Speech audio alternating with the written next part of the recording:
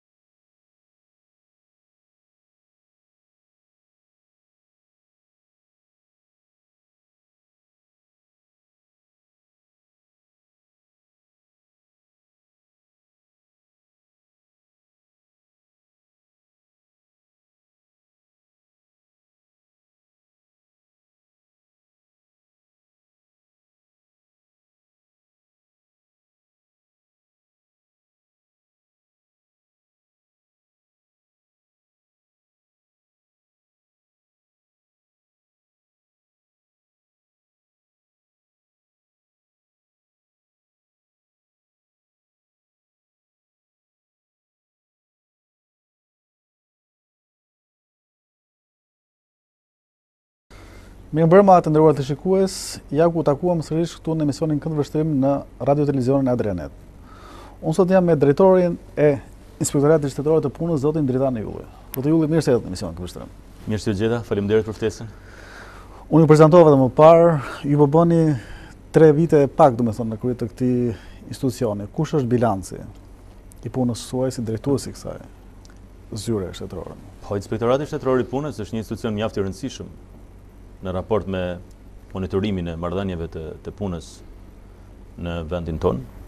Është një institucion që ka misionin, ka tagrin ligjor, ka të drejtën e kontrollit, inspektimeve, këshillimit, të informimit, për të garantuar dhe për të rregulluar një marrëdhënie sa më të mirë në mes të punëdhënësit dhe punëmarrësit, një marrëdhënie që rregullohet me legjislacionin e punës në vendin tonë dhe për më tepër për të garantuar kushte pune më të mira për një punë sa më të denjë për punonjësit në në tregun e punës në Shqipëri. Zoti Ylli faktikisht dhe pse jo edhe një punë më të mirëpaguar pra një punë me një pagë. Pati gjithmonë ka patur faktikisht problematika midis punëdhënësit dhe punëmarrësit. Në çfarë gjendje e gjetët situatën dhe çfarë ka ndryshuar? Po, pikërisht e thashë, e nisa me faktin që është inspektorati shtetëror i punës, ai institucion që kontrollon moslejimin e këtyre problematikave. Dhe qëllimi dhe synimi kryesor ka qenë për ta rikthyer inspektoratin e punës në një institucion aktiv, një institucion në punë, pra për ta rikthyer inspektoratin e punës tek puna e tij, tek misioni i tij për të garantuar pikërisht atë funksionim të ligjshëm dhe korrekt të marrëdhënies në mes të të përfaqësuesit të kompanisë, të punëdhënësit me me punonjësin.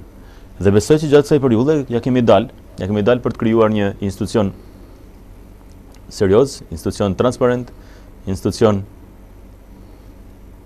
me rezultate mjaft të dukshme në raport me e thashë me të drejtat që kanë punonjësit dhe patjetër me krijimin e një mjedisi pune më të mirë për punonjësit në në në, në tregun e punës. Ne sot mund të themi fare mirë që Kemi një rritje, kemi një standard të ri. Qoftë se flasim me, me shifra, ndoshta pak a shumë. Po, do ndalem te shifrat. Pra, sot kemi një standard të ri të marrëdhënies së punësimit në vendin tonë. Nëse para tre vitesh ne kishim një informalitet masiv, pra kishim një punë në të zezë masive nëpër ndërmarrje të ndryshme të vendit tonë. Sot, ky fenomen është shumë më tepër i reduktuar. Është reduktuar në maksimum. Por problematika në raport me punën e zezë nuk është vetëm thjesht dhe mospagesa e sigurimeve shoqërore. Kjo është patjetër kryesorja. Por nga një punë e zezë e një punonjësi, rrjedhin disa aspekte të tjera negative në, në, në raport me, me, me punën. E para është që një punonjës informal, apo një punonjës në të zezë, nuk njihet fare si punonjës dhe nuk mund të flitet për të drejtat e tij. Unë sot për shembull isha në një biznes fason këtu në Shkozet, që kishte punësuar gra dhe dhe vajza kryesisht. Një biznes mjaft i konsoliduar dhe me kushte mjaft të mira pune dhe kontrollova ë analizat, pra kartelat mjekësore për çdo punonjës. sepse synimi i këtij i këtij inspektimi, i kësaj vizite ishte për të parë praninë e mjekut nëse ishte në ndërmarrje dhe kartelën mjekësore të secilit prej punonjësve. Dhe në kartelën mjekësore dhe secili prej punonjësve e kishte. Është në misionet e inspektoratit shtetëror po, punës. Po, patjetër, është një ndër misionet dhe secili se do të ndalem në detaje për të parë se ku kemi qenë dhe ku ku jemi. Secili prej punonjësve kishte kartelën e tij mjekësore personale. Dhe në kart kartela fillonte me emrin, emrin dhe mbiemrin e punonjëses, se ishte shumica gra dhe vajza, dhe me numrin e niptit, pra numrin personal të sigurimeve shoqërore të këtij punonjësi. Mendojeni ju nëse ky punonjës do ishte në punë të zezë, siç ndodhte masivisht përpara 3 viteve? Mendojeni ju nëse ky punonjës do kishte kartelë mjekësore? Jo, nuk do ta kishte, sepse nuk do kishte fare numër të kontributeve të sigurimeve shoqërore. Ky punonjës nuk do kishte fare kontratë dhe nga kontrata derivojnë të gjithë të drejtat që kanë punonjësit, patjetër edhe detyrimet e tyre, sepse kontrata është një është është mjeti ligjor që që rregullon që rregullon marrëdhënien mes të punëdhënësit dhe të punëmarrësit. Pra, nëse kishim një informalitet masiv dhe sot kemi ardhur në një tjetër stad të punësimit në Shqipëri, Kemi ardhur në një stad ku pjesa më e madhe tashmë të ankimeve, ankimimeve që na vijnë, nuk janë më për punë të zezë, për mospagesë të sigurimeve shoqërore, por janë për të tjera të drejta që i takojnë punonjësve, siç për shembull mund të jenë pasja e mjekut, siç thashë, pagesa për punë, kur bëhet punë e tejzgjatur mbi kohën normale të punës, Pagesa për ditët e pushimeve, kur është e nevojshme për shembull, sepse ka disa sektorë të ekonomisë që është është e domosdoshme të punojnë edhe ditë festash për shembull, siç janë furrat e bukës, por ama ato ditë duhet të kompensohen dhe, ose duhet të paguhen si orë të të zgjatura mbi kohën normale, ë ja, i rregullon shumë mirë kodi i punës. Pra, sot ne kemi hyrë në një stad të ri të marrëdhënies së punësimit, në një standard të ri, një standard më të përmirësuar, Dhe këtë patjetër që e tregojnë edhe shifrat. Dhe për të ndalur te shifrat... Kush janë rrethet më problematike, zoti Ilaj? Nëse do më lejoni që ta vijoj rrjadhën logike të, të standardit, të, të marrëdhënies së punësimit në vendin tonë, natyrisht që sot kemi mjaft probleme. Sot akoma ne kemi sërish punonjës që punojnë në të zezë. Ne nuk mund gënjejmë as veten dhe as qytetarët shqiptarë që të themi që në Shqipëri mbaroi puna në zezë. Pra që në Shqipëri gjithë punonjësit u vendosën në skemë. Jo. Ne akoma dhe sot e kësaj dite vijojmë të gjejmë punonjës që nuk janë të siguruar. Edhe për më tepër që gjatë vitit që shkoi, në vitin 2016, ne kemi zbuluar, kemi një zbulueshmëri të punës informale rreth 1900 punonjës gjatë gjithë vitit, që është një shifër diçka më shumë se 600 punonjës më shumë se sa vitin e shkuar, të zbuluar. Pra kjo do të thotë që vijon puna për të zbuluar çdo punonjës që është në punë të zezë për ta vendosur atë në skemë, për të rikthyer dinjitetin atij punonjësi, por ama mos harroni që gjatë këtyre 3 viteve i është rikthyer ky dinjitet qindra dhe mijëra punonjësve në mbarë tregun e punës në Shqipëri. Pra, nuk duhet harrojmë në asnjë moment që në kohën që kam marrë detyrën, prioriteti kryesor ishte lufta kundër punës në zezë, kundër punës informale dhe madje kishte edhe subjekte masivisht informale që zhvillonin aktivitetin e tyre dhe për më jo më pun punonjësit pastaj që nuk bëhej fjalë të ishin të, të regjistruar. Dhe ky prioritet patjetër që ë më ndoqi që në ditën e parë që kam marrë që mora detyrën dhe akoma natyrisht më ndjek edhe sot. Por, gjatë kësaj kohe, është bërë, janë bërë arritje shumë të rëndësishme në raport me luftën kundër punës në zezë. Besoj janë aplikuar dhe sanksione të ndryshme, do thëmë për atë të që ka pas, konstatuar shkelje. Po, patjetër që ka pasur sanksione, nuk ka qenë qëllim në vetvete që ne të gjenim një ndërmarrje, një kompani në shkelje,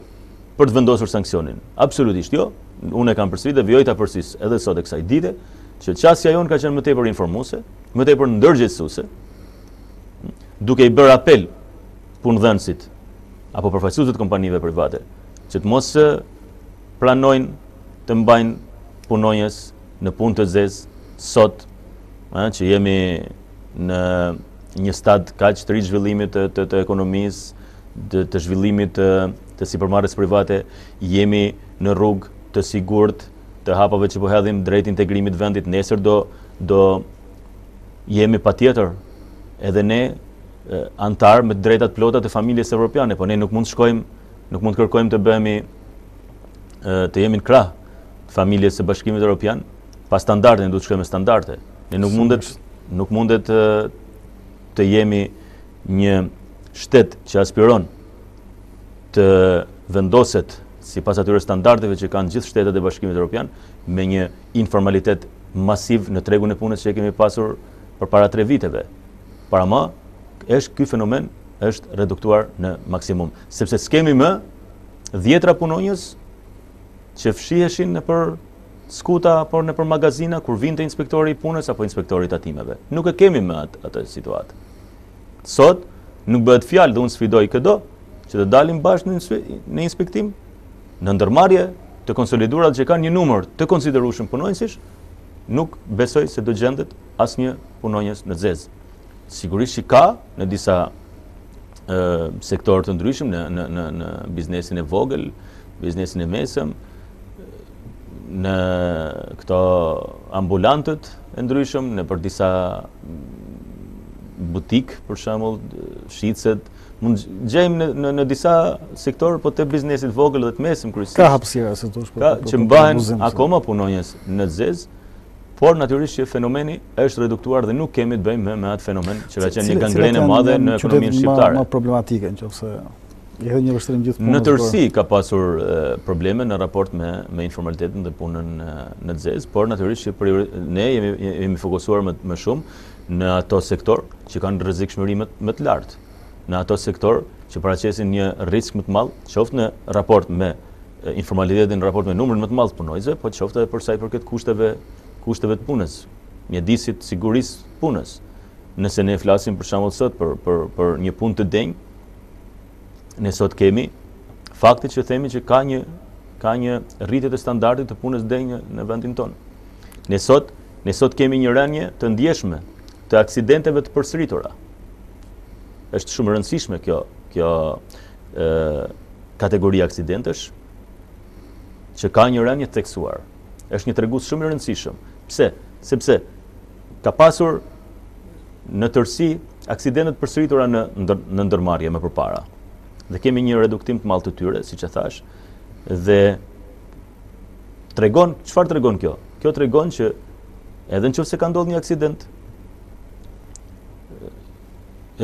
inspektori punës e ka inspektuar dhe ka lënë ato detyrat për t'u realizuar, përfaqësuesi i kompanisë ka bërë reflektimet dhe e, ato ka vendosur pra kushtet e sigurisë në punë dhe nuk ka pasur më aksidente të përsëritura. Më përpara ndodhte aksidenti dhe askush nuk e vriste mendjen, as inspektor, inspektorati i punës nuk reagonte, as kompania nuk vijonte që të merrte masa parandaluese apo të përmirësonte kushtet e sigurisë të mos ndodhte më ky aksident. Pra aksidentet e përsëritura ne i kemi sot të reduktuara për të mos thënë që i kemi krejtësisht minimale. Nga ana tjetër, kemi një reduktim të ndjeshëm, një ulje të ndjeshme të aksidenteve masive, që janë aksidentet, të aksidentet masive fusim aksidente me, me pasojë humbjen e jetës ose lëndimin fizik të personit me, për një apo më shumë punonjës. Sot mund të them ne ne ne në të gjithë tregun që monitorohet nga inspektorati punës, sot ne kemi nuk kemi gjetur dhe i kemi shumë të rralla rastet e aksidenteve masive. Në ndërtim për shembull më përpara ka pasur një një gjerësi të ndodhisë së aksidenteve aksidenteve masive. Ju e dini shumë mirë që do të thotë sensibilizimi ka qenë më më i lartë, domethënë unë biles mund të përmend një rast që është një rast që akoma nuk më largohet nga nga mendja ime, as sot e kësaj dite. Dy apo tre ditë pasi kisha marrë detyrën, u përballa me një rast aksidenti me pasojë humbjen e jetës së dy punonjësve në një zonë jo periferike, por në një zonë të qendrës së Tiranës, një zonë që njihet si zona e bllokut në Tiranë.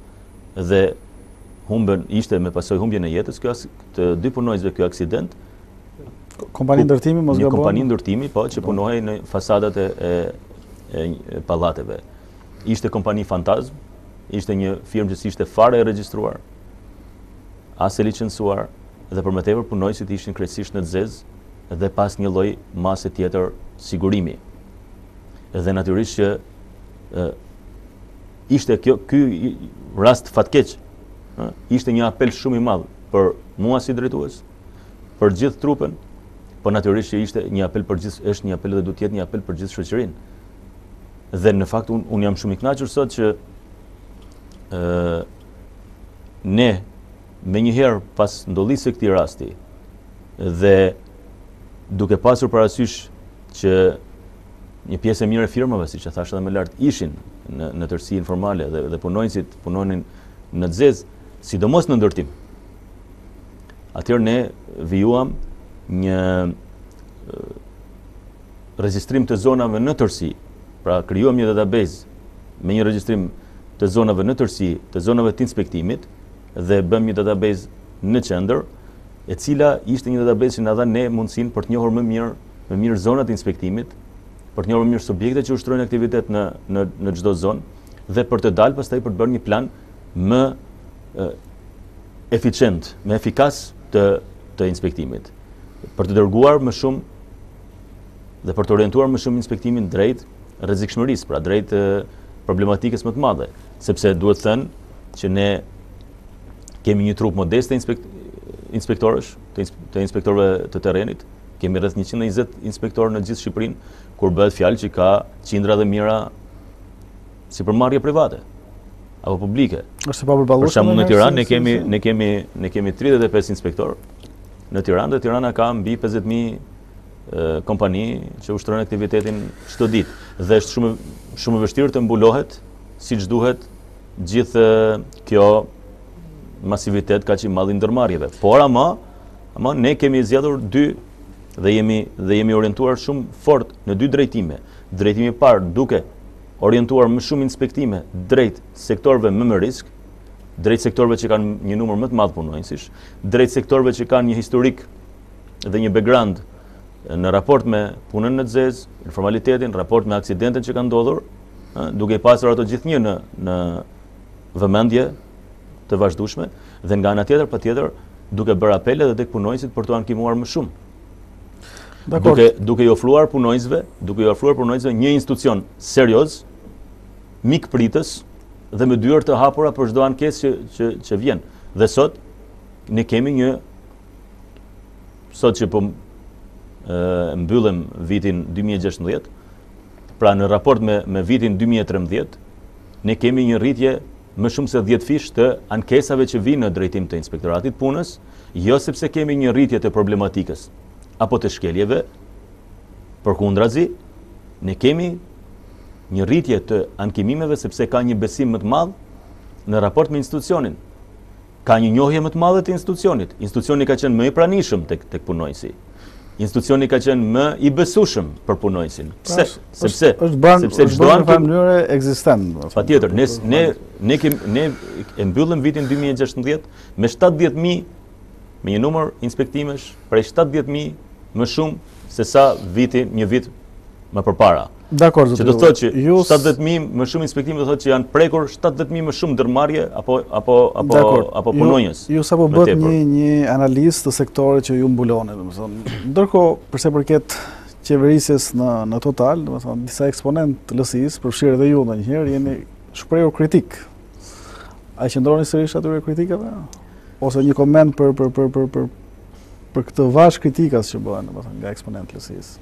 Shiko, ë mendoj që orientimi drejt punës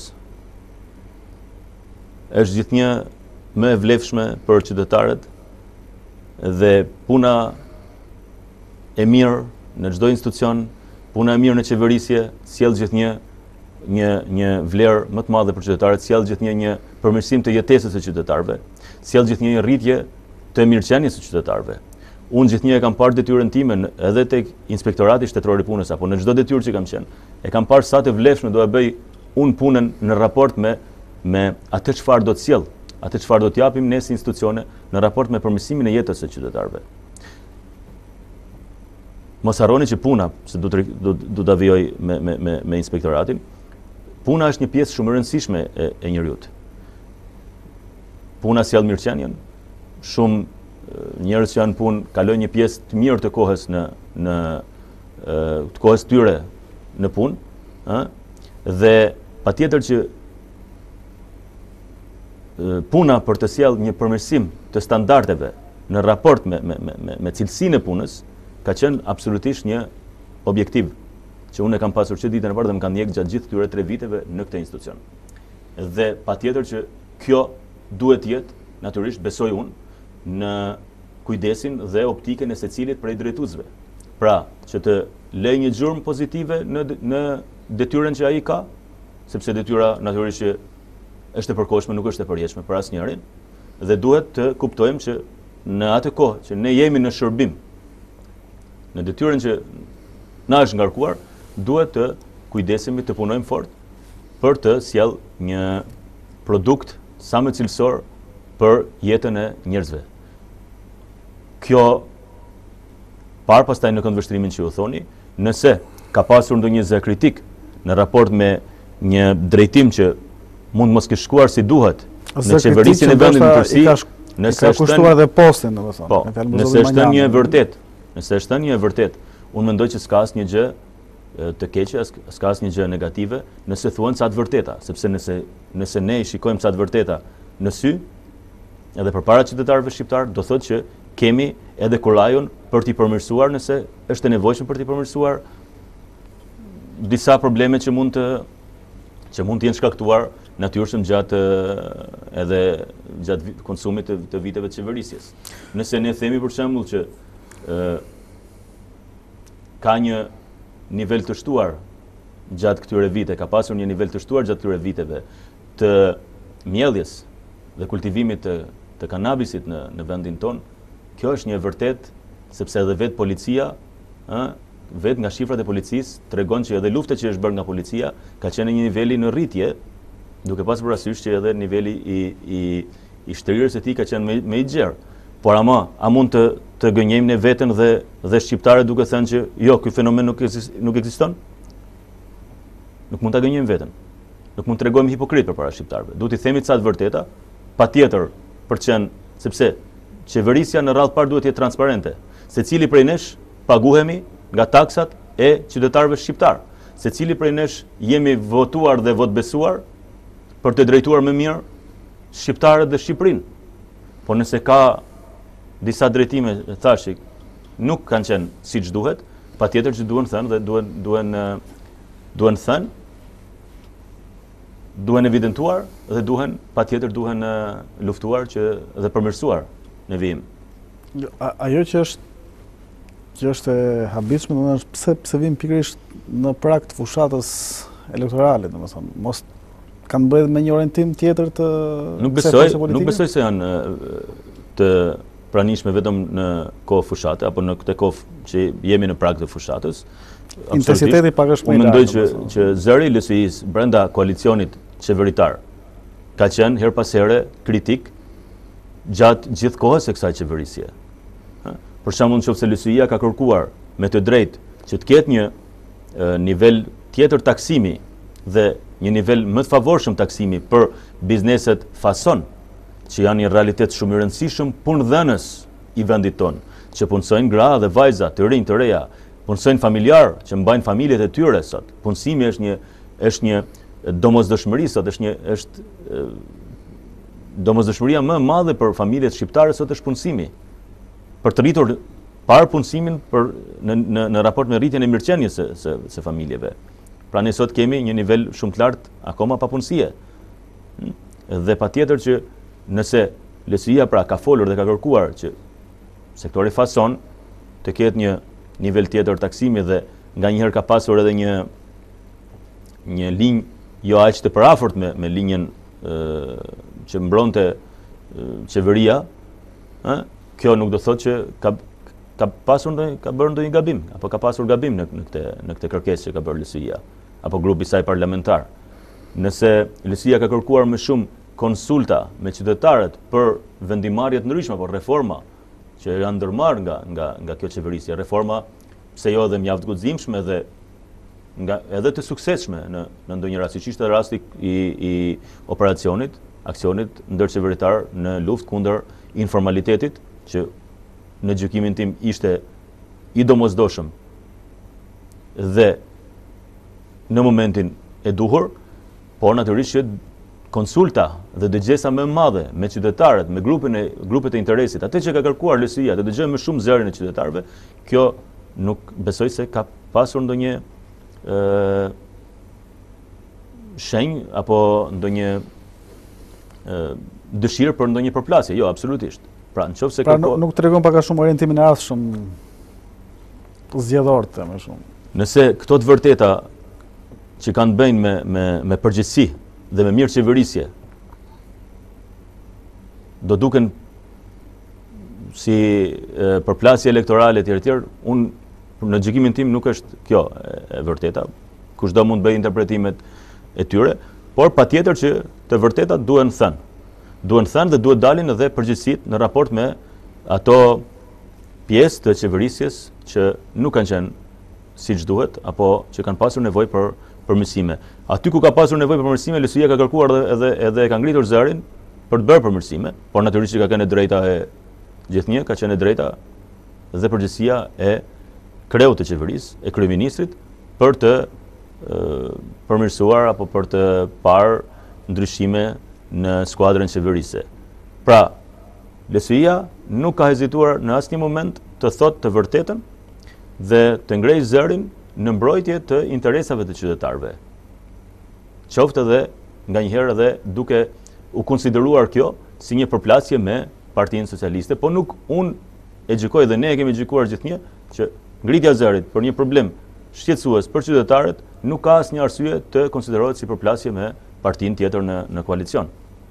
Zoti Ylli, tashmë motorët e fushatës duket se janë ndezur. Ndërkohë para pak ditësh ju patët dhe konventën e LSI-së në Tiranë. Si ishte atmosfera atje? Atmosferë mjaft motivuese, shumë entuziaste, një numër shumë i lartë delegatësh që përfaqësohej në në konvent, më shumë se 2500 delegatë të ardhur nga çdo zonë e kryeqytetit, pra e Tiranës, delegatë të zgjedhur si përfaqësues nga çdo mini zonë, nga çdo lagje e Tiranës, pra dy mijë e pesëqind delegatë që ndodheshin në Konvent ishin përfaqësues të organizatave që janë mbi çdo qendër votimi në Tiranë, pra një shtrirje dhe një organizim kapilar dhe shumë përfaqësues i LSI-së në gjithë Tiranën. Ne mbyllëm procesin zgjedhor në çdo organizatë, pra në gjitha këto organizata, duke zgjedhur të rinj të reja me shumë energji, me shumë motiv, duke zgjedhur burra dhe gra të dashur nëpër ato zonat e tyre me reputacion, duke zgjedhur dhe duke afruar intelektualë mjaft të shquar dhe me emër në në në zonat e tyre, ëh, Pra, dyert e LSI-së janë hapur, kanë qenë të hapura, mikpritëse, për çdo anëtar të ri që vjen dhe për qindra anëtar që na kanë ardhur gjatë gjithë kësaj kohe, hm, por për më tepër kanë qenë mikpritëse për të pritur çdo banor të çdo zone në Tiranë për të diskutuar hallet dhe shqetësimet që ato kanë, për të mos i takuar ato vetëm në kohë fushate, por ama gjatë gjithë kohës, për të qenë në kontakt gjithnjë me to dhe në komunikim të të vijushëm, ë dhe patjetër që kjo kjo derë e hapur mikpritëse e duruar për të dëgjuar çdo hall dhe çdo shqetësim të qytetarëve në përpjekje të mëdha gjithnjë dhe duke dashur për gjetë mundësitë për t'iu ardhur në ndihmë dhe për për të përpjekur për t'iu zgjidhur hallin, hallin që kanë, dhe besoj kjo ka krijuar edhe një besueshmëri më të madhe të njerëzve në raport me Lëvizjen Socialiste për Integrim, sepse ne dallojmë kemi disa vlera që na bën na dallojnë ne të tjerëve, të tjerë nga të tjerët. Pra, siç e thashë, është është është thjeshtësia, është komunikimi, është mikpritja e secilit dhe nuk janë arroganca apo mospërfillja apo indiferenca ndaj halleve dhe shqetësimeve që kanë qytetarët, ha? Dhe prandaj LSI-ja është një shans për të gjithë. Është një shans për të gjithë për të dëgjuar secilin, për ta ndihmuar secilin, për t'i dhënë një mundësi afirmimi çdo të riu apo të reje, ëh, që kërkon të të të bëjë një karrierë, pse edhe jo politike, profesionale apo politike, ëh. LSI-ja është një është një forcë mbështetëse për çdo të ri, që kërkon të ngjitë shkallët e karrierës dhe ta gjejë veten në në pozicione të ndryshme qoftë politike apo edhe profesionale. Pse jo? Po patjetër që LSI-ja është një shans për çdo familje që kërkon një rritje të mirëqenies me të drejtë. Ëh. Kush janë pritshmëritë tuaja për si forcë politike flas për zgjedhjet e ardhshme elektorale? Nisur nga kjo mbështetje masive që ne shikojmë në tërësi nga qytetarët. Mos gaboj, ju jeni drejtues i njësisë 8 në Tiranë, ish-bastion i Partisë Demokratike. Si është po. situata aty? Në zgjedhjet e fundit, në zgjedhjet vendore të vitit 2015, Lëvizja Socialiste për Integrim në njësinë numër 8 në disa zona, madje pothuajse në një zonë të tërë, në të një pjesë të njësisë, doli forcë e parë politike. Pra u rendit forcë e parë politike në rreth njëmbëdhjetë qendra votimi që përbën një zonë të tërë të kësaj njësie. Po në disa qendra të tjera ka qenë e renditur e dyta.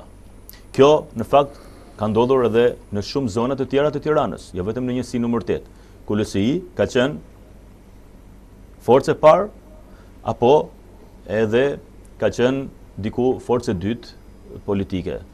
Dhe rezultati me dy forcat e tjera Ka qenë mjaft i ngushtë, qoftë në njësinë numër tetë, qoftë edhe në njësitë e tjera të Tiranës apo edhe nëpër zona të ndryshme të Shqipërisë, apo rrethe të ndryshme të të të, të Shqipërisë. Ë kjo tregon që ne tashmë kemi një bazë reale për të pretenduar, hm, për të qenë pse jo një forcë fituese në zgjedhjet e tetëmbëdhjetë qershorit, në zgjedhjet e përgjithshme të tetëmbëdhjetë qershorit ë në vendin tonë. Dhe patjetër që nisemi edhe nga fakti pra i gjithë këtyre vlerave që ne kemi ofruar për qytetarët shqiptarë, ë kjo derë e hapur që ka qenë gjithnjë, ky shans që i është dhënë secilit, ë na u shpërblye pra me atë rezultat shumë të mirë në 2015 dhe Mendojmë që do ketë një rezultat edhe më të mirë për ta çuar drejt fitores LSI-në në zgjedhjet e ardhshme. Në koalicion me Partinë Socialiste? LSI-ja ka qenë gjithnjë në koalicion me qytetarët. Ka qenë në koalicion me rinin, ka qenë në koalicion me ato familje që kanë kërkuar të kenë një shans, një punësim, një ndihmesë për për për rritjen e mirëqenies së tyre, duke e parë këtë patjetër në raport me disa politika që ka nevojë vendi, qoftë në në raport me një çlirim, një klimë më çliruese dhe më të favorizuar për investimet e huaja apo ato vendase, qoftë një klimë më favorizuese për të vetëpunësuarit, për biznesin e vogël dhe të mesin që më së shumti garantojnë punësimin dhe mirëqenien e familjeve shqiptare, ë? Parë në të gjitha këto, parë në në në Në shansin pra e thashë që është dhënë kryesisht të rinjve dhe të rinjtë janë një bazë shumë e fortë, janë një energji që s'e ka askush tjetër siç e ka LSI-ja, këtë energji që vjen nga të rinjtë dhe nga nga masiviteti i angazhimit të të rinjve në këtë forcë politike, ne mendojmë që ë dhe jemi gati për të përballuar çdo rezultat, pra për të përballuar çdo sfidë elektorale. Dhe në koalicion apo jo, është mjaft herët për të folur. është mjaft herët sepse akoma qeverisja aktuale ka besoj detyra për të vijuar, ka punë për të vijuar për të bërë. Koalicioni ne kemi marrëveshja është deri në prill dhe ne jemi mbrenda po konsumojmë po konsumojmë marrëveshjen. Natyrisht do jetë do jetë një konsultim dhe një vendimarrje e organeve dhe strukturave drejtuese të Lëvizjes Socialiste për Integrim, por e thash, ajo që është e rëndësishme është fakti që LSI do shikojë dhe do jetë gjithnjë në koalicion me qytetarët, në koalicion me rinin, në koalicion me zhvillimin dhe integrimin e vendit. Kjo është më e rëndësishmja. Unë të falenderoj që të kisha sot në emisionin Këndvështrim. Falenderoj dhe juve. Të nderuar teleshikues, ky ishte Këndvështrim për sot, ishim me kreun e Inspektoratit Shtetëror të punës, zotin Dritan Ylli, Unë lë takim sërish në emisionin e ardhshëm, bashkë natën e mirë.